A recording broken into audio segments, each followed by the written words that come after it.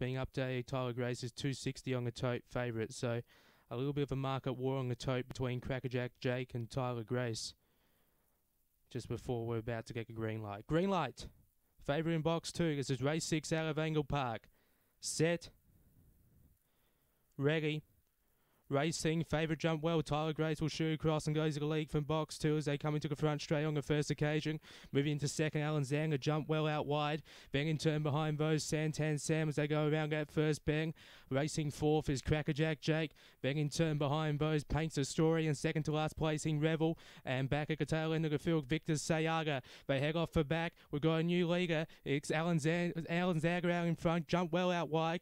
Trying to rail through Tyler Grace as they come around at home bend. Top of the front straight. Tyler Grace has got to the league. Second, Santan Sam. Close go for the minors, but Tyler Grace will be too good. Very close going, Geek. In that photo, we had Revel out wide, Crackerjack Jake. In between the runners there was Santan Sam, paints a story. And back towards the tail enders was Victor Sayaga and Alan Zander.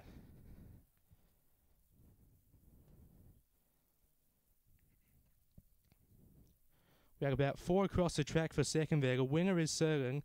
Tyler Grace has got up to win.